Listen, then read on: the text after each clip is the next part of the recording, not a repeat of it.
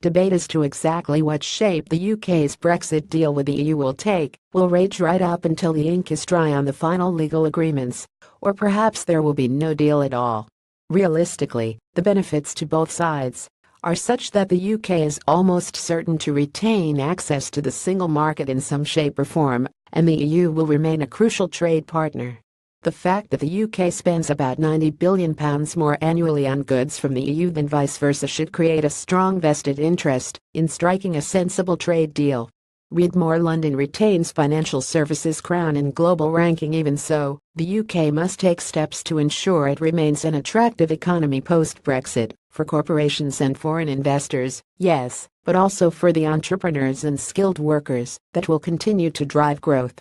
The government has already started this charm offensive with its Britain is open for business rhetoric, and policy watchers at home and abroad will be keeping a keen eye out for changes to corporation tax, business rates, entrepreneurs tax relief, immigration criteria, and other potential enticements.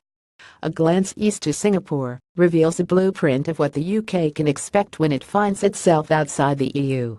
Today, Singapore has the world's third highest GDP per capita and is a regional powerhouse.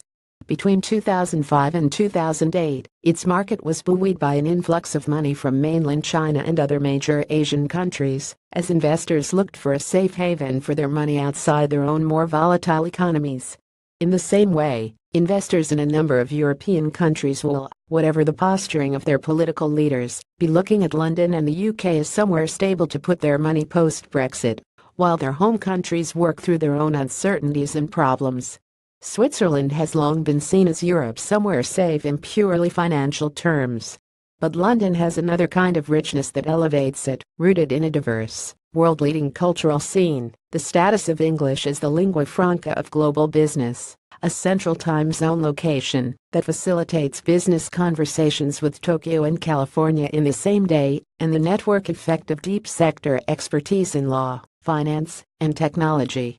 On top of that, London has a wealth of premium real estate, always considered a reliable asset, consistently in demand, and much more resilient to adverse economic conditions than other types of investment. Property will be another cornerstone of the UK's long-term positioning as the dust settles on Brexit. The reliability, resilience, and accessibility of prime London real estate in particular enhancing the country's safe haven status for overseas investors. Ultimately, everything that makes the UK and London in particular such a globally attractive location, language, geography, heritage, and assets, will remain unaffected by Brexit. With the right long-term strategy, a position as the Singapore of Europe could set the UK up to thrive alongside its continental neighbour. Read more City of London to ramp up Brussels' presence as Brexit draws closer.